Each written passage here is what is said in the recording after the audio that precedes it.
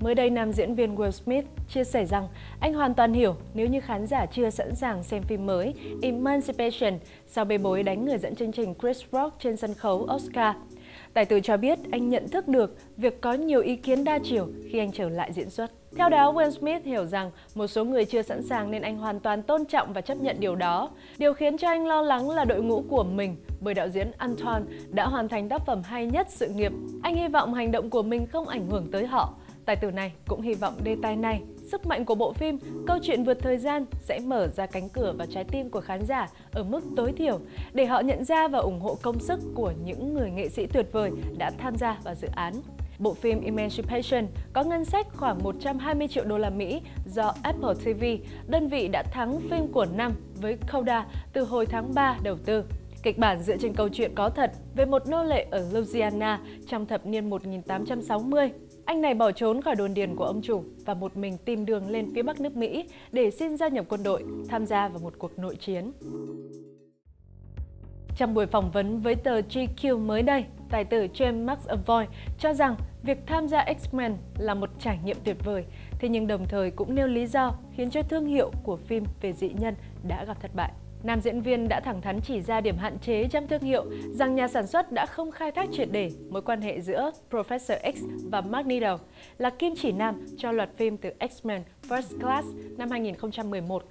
Nhân vật giáo sư X và Magneto là cặp bài thiện ác nổi bật nhất trong loạt phim X-Men khi có mối quan hệ phức tạp từ thời trẻ tới khi về già. Tuy nhiên, bộ đôi dị nhân do Stewart và Mark Killen thủ vai được đầu tư xây dựng chỉnh chu hơn về cốt truyện và định hướng phát triển nhân vật.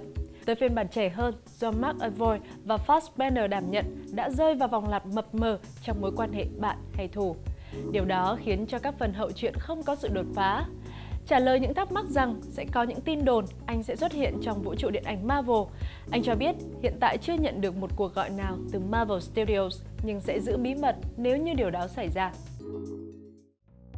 Theo tài tử Antonio Banderas, nam diễn viên làm nên tên tuổi với vai diễn người nhện Tom Holland có tố chất để đóng vai mặt nạ Zorro trong phần phim mới về nhân vật huyền thoại này. Mới đây, tài tử Banderas nói trong cuộc phỏng vấn với trang Comic Book rằng Tom Holland là diễn viên hoàn hảo để thay thế ông trong vai hiệp sĩ mặt nạ. Nếu được mời tiếp tục đóng Zorro, ông sẽ làm điều mà tiền bối Anthony Hopkins từng thực hiện là trao lại ngọn đuốc cho một diễn viên trẻ hơn, đó chính là diễn viên Tom Holland.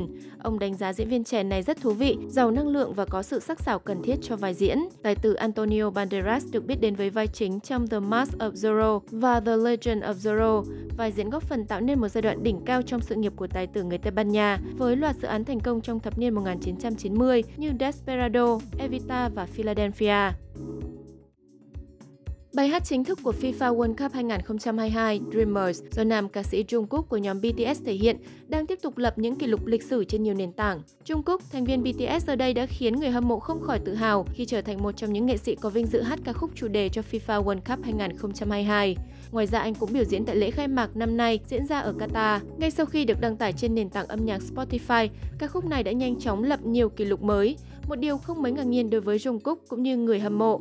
Dreamer là bài hát FIFA World Cup đầu tiên và duy nhất ra mắt ở vị trí số 1 trên bảng xếp hạng Billboard Digital Song Sales trong lịch sử. Ngoài ra, ca khúc đã ra mắt ở vị trí thứ hai trên Spotify toàn cầu với tổng cộng 4,8 triệu lượt stream. Đây cũng là ca khúc có màn ra mắt cao nhất của một nghệ sĩ solo Hàn Quốc và châu Á. Trước đó, kỷ lục này cũng thuộc về chính Jungkook với màn kết hợp cùng ca sĩ Charlie Puth trong ca khúc Left and Right.